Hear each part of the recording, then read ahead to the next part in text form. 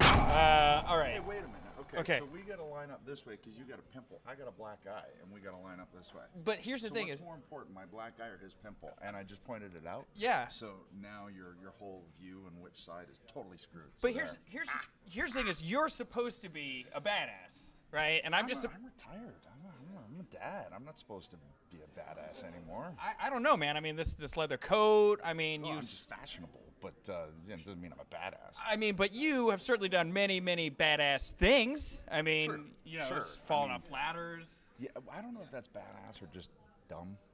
Yeah. Yeah, this, I guess there's a little truth in it. I guess I don't know. I mean, you're you'd know better than me, but certainly badass. I, rated R. You don't get to be rated R without being like a badass. Well, I mean, fictionally, sure. Sure. Yeah.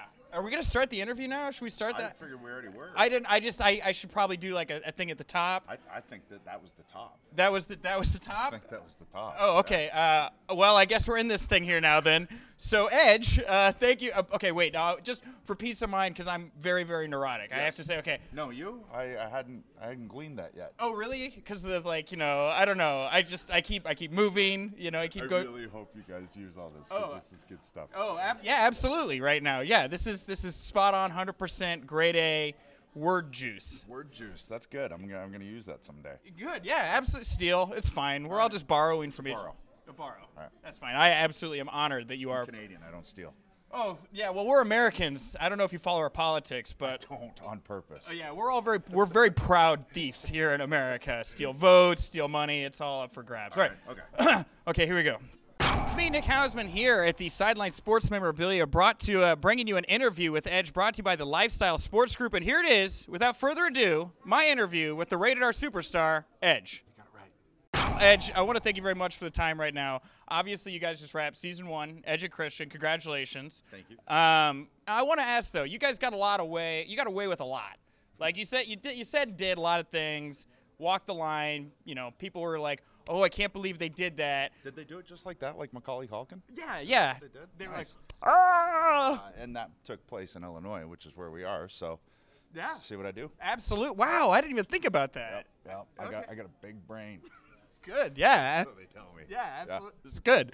Uh, they were like, ah, Edge and Just like Christian, ah, Edge and Christian. You know, uh, I can't believe they did that.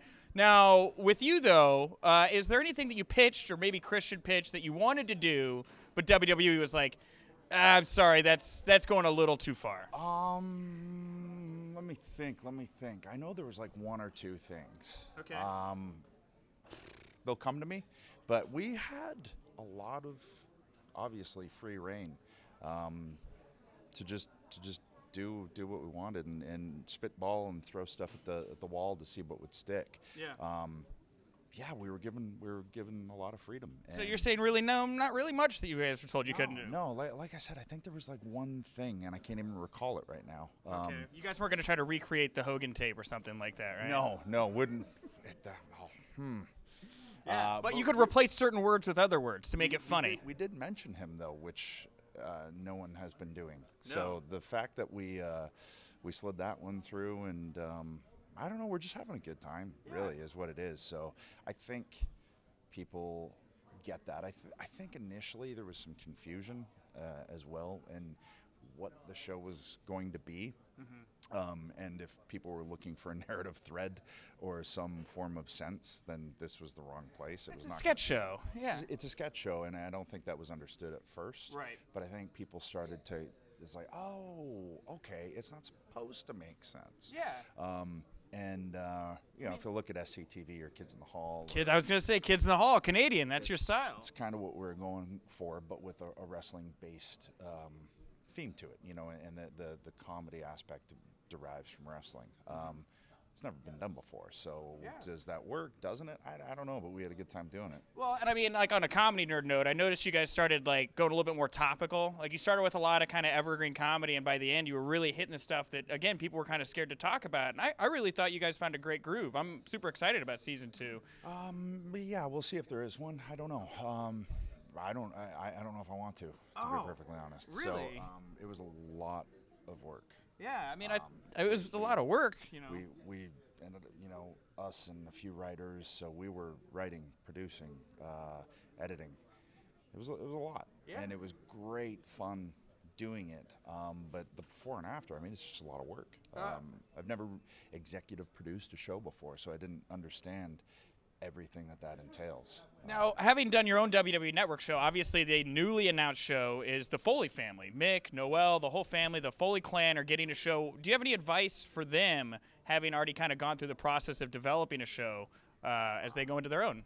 I, I would think it's going to be a different uh, different template. Um, so, uh, you know, I, I think I think theirs will go more the family reality r- route. Yeah. Um, I could be totally wrong. Um, and if that's the case, I, I would assume it wouldn't be quite so much. Um, probably writing scenarios, not writing skits and bits and trying to find humor. Because the funniest thing, or the hardest thing to do, is to be funny. Yeah. Because if you try too hard, man, it will fail uh, horribly. So, yeah, yeah. which we did on a bunch of occasions because you can't have you know a half an hour sketch comedy show be you know uh, slap your knee funny the entire time. It's just not possible. And I think once we got by the idea of that, kind of once we got the first three shows under our belt, because we filmed those. So here's the story. Okay. I'm interested. ADD. Um, so we filmed the first three shows in three days, which, if you tell anyone in television that, that's dumb. It's crazy. Yeah, Too much. um, it is. So we, we got up there. Uh, initially, we thought we were going to have a pilot and a week to shoot it, and that became, you know, classic WWE style. It's like, yeah, yeah, we got this, and uh, and we got through it. But um, that was the first three episodes. If if you notice. Uh, that we started to find our groove more by the fourth episode, fifth episode. That's why Yeah. we actually had time. We had time to be able to uh, kind of flesh everything out instead of um, just hit the ground running. Man, I wish I had an hour with you, but I don't because I see all these great, wonderful wrestling fans that absolutely want your time, and I'd like to give it to them. So I will cut to uh, my last big question for you, then, Edge, in this interview. Uh, obviously, there was the big NXT title change this weekend. Samoa Joe, now the WWE NXT champion. Finn Balor, now the former champion. A lot of rumors, a lot of speculation about what could be in Finn Balor's future now that he's no longer the NXT champ. Uh, not that you know anything, but I mean, what would you like to see from Finn Balor now? Do you think this is the time for him to come to the main roster? Um, yeah, I mean, it, it, everybody, pretty much, pretty much everybody on NXT is ready to be on the main roster. Um, so w- when is the right time? I don't know. You see AJ go straight from New Japan straight to you know uh, the main roster. Finn could have done the same thing. Joe Yeah. could do the same thing. Yeah. I mean, Sami could have done the same thing. Um, but NXT is a is a great. Um, not that those guys need it, but you need guys there in a developmental system like that to be able to lead and show the way for some of the younger guys that don't have that New Japan experience, who don't have some of that international um, cred under the belt already. Yeah. So it's really important to have a Finn and a Samoa Joe and and uh, Sami there to to see. Okay, well, this is where we need to get to to make it to the top here to then springboard um, past that to the main roster too. Yeah. So, um, but yeah, I mean, it's totally ready. And some of the matchups that you can think of already, I'm sure wrestling fans are like, "Ooh, ah," you know. Yeah, I totally have no idea.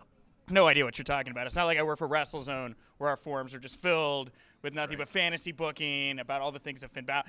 I hear Finn Balor's even the social outcast. really? Yeah, this is what I just what I hear. I read it on the internet, so I guess it's got to be true. I mean, if it's there, it's definitely true. I mean, we, we, we preach that daily on our show. Oh yeah, absolutely, of course. Uh, well, Edge, thank you so much for taking the time. I had an absolute blast. I want to know the story behind the black eye, but in my head, I want a fantasy book how you got the you black really eye. want the story of how I got a black eye? I mean, I don't want to hold these fans up, but do you want to tell the well, story? Now we're here. so, Okay. yeah, And I wish it were cool. It's pretty cool, actually. Uh, I was at my daughter's little gymnastics class, um, and she was on the uh, parallel bars. Uh, no, sorry, the uneven bars, because this is what got me. She's on the bottom bar swinging, and I caught her, Okay. and then I stood up, and wham! I clotheslined myself in the face so hard. I haven't been hit that hard since I've been hit with ladders Wow. um, to the point where like the muscles in here are still twitching, and I it rocked me so hard, and every parent saw it. Yeah. And I was just like, oh, okay, I can't, I can't, I can't. I thought I was bleeding. I was like, Okay, no blood.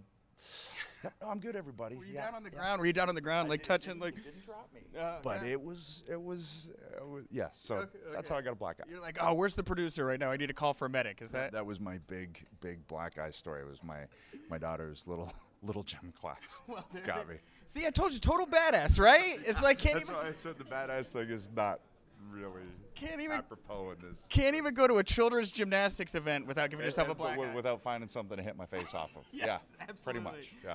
Edge, you know what? Thank you again so so much. Two handshakes, one interview. We're back here again at the Sideline Sports Memorabilia talking.